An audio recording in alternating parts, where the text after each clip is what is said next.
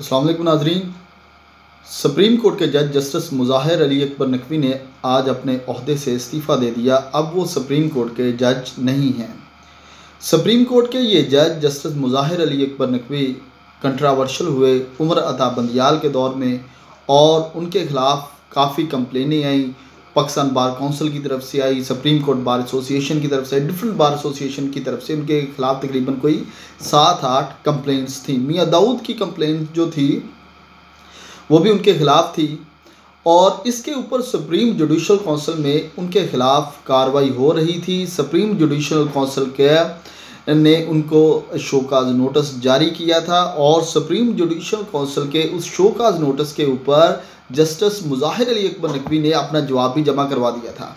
लेकिन आज उन्होंने इस्तीफ़ा दे दिया। इसकी क्या वजूहत हैं? हम आपके साथ ये सारी डिस्कस करते हैं। ये सारी वजूहत हम आपसे डिस्कस करते हैं। तो जस्टिस मुजाहिर अली अकबर नकवी ने जो उनके खिलाफ शोकाज नोट्स नोटिस आया था, उसका जवाब तो दे दिया।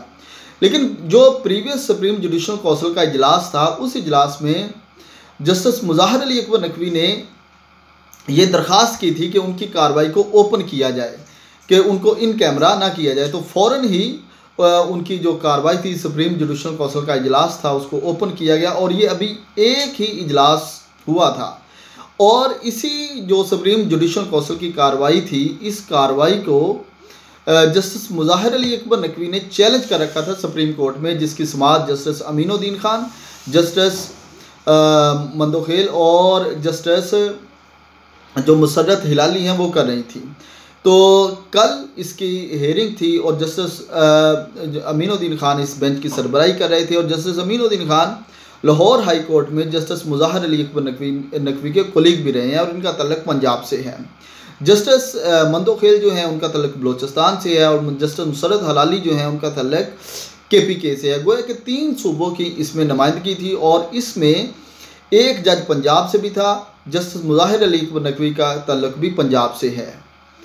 तो कार्रवाई थी मखदूम अली ख़ान इनके वकील थे। मखदूम अली ख़ान ने काफ़ी वहाँ पर दलाइल तो दिए उनकी जो तैयारी थी। लेकिन उनका जो मेन पॉइंट था वो ये था कि जो सुप्रीम जुडिशल कौंसिल की कार्रवाई है उसको रोका जाए।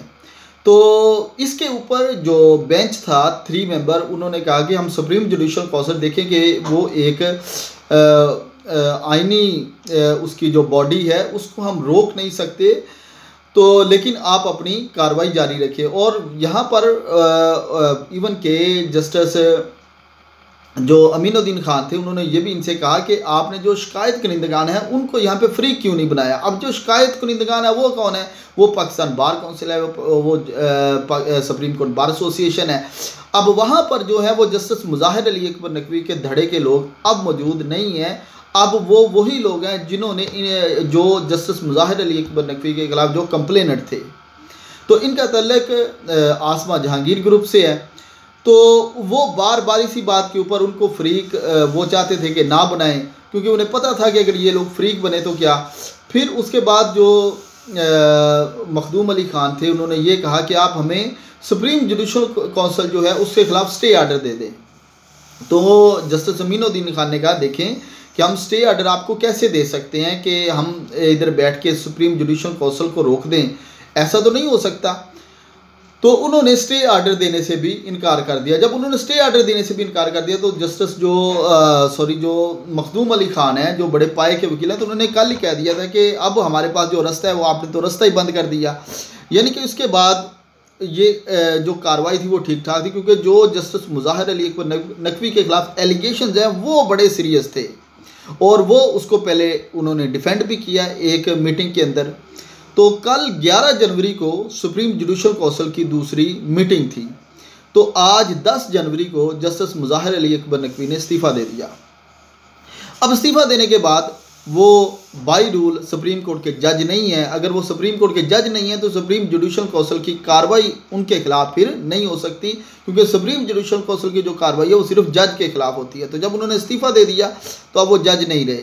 अब उनको इसका बेनिफिट ये होगा कि उनकी जो पेंशन और दीगर मराहत हैं, वो सारी उनको मिलेंगी। लेकिन अगर उनको सुप्रीम जुडिशल कौंसिल रिमूव करती तो फिर उनकी जो पेंशन और दीगर मराहत से भी वो महरूम हो जाते। तो अब उनको ये वाले बेनिफिट्स तो मिलेंगे, लेकिन अब देखना ये है कि कल क्या सुप्रीम जुडिशल कौंसिल इसके ऊपर मज़ीद कार्रवाई करती है या इसको ख़त्म करती है। अमूमन यही है कि जब सुप्रीम जुडिशल कौंसिल में जिस, जो जिस जज के ख़िलाफ़ कंप्लेन हो, अगर वो जज इस्तीफ़ा दे दे तो फिर वो जज ही नहीं होता। और अगर जज नहीं है तो फिर सुप्रीम जुडिशल कौंसिल की उसके खिलाफ कार्रवाई भी नहीं हो सकती। तो लेकिन बहरहाल फिर भी ये फाइनल फैसला जो है, ये सुप्रीम जुडिशल कौंसिल को करना है और वो क्या करती है? लेकिन अब मज़ीद जो जस्टिस मुजाहिर अली अकबर नकवी हैं, उनके वो बेनिफिट्स जो हैं, वो सारे के सारे सेव हो गए हैं और इन्हीं के ख़िलाफ़ ये डिफरेंट एलिगेशंस थे और इन्होंने पहले इसको चैलेंज करने का भी इरादा किया था और जस्टिस सरदार तारक मसूद के ऊपर भी इन्होंने इतराज़ किया था और फिर वो इतराज़ इन्होंने खैर वापस भी ले लिया था। बहरहाल, आज इन्होंने वैसे ही क्विट कर दिया है और अपना रिज़ाइन सदर ममलकत को भेज दिया है। अब वो सुप्रीम कोर्ट के जज नहीं हैं। अगर वो सुप्रीम कोर्ट के जज नहीं हैं तो फिर सुप्रीम जुडिशल कौंसिल भी मेरा ख्याल है उनके खिलाफ़ कोई कार्रवाई नहीं करेगी। तो जस्टिस मुजाहिर अली अकबर नकवी का जो किस्सा है, वो यहाँ पर तमाम होता है। तो इस खबर में, इस वीलॉग में इतना ही। नेक्स्ट मिलेंगे नई खबर के साथ।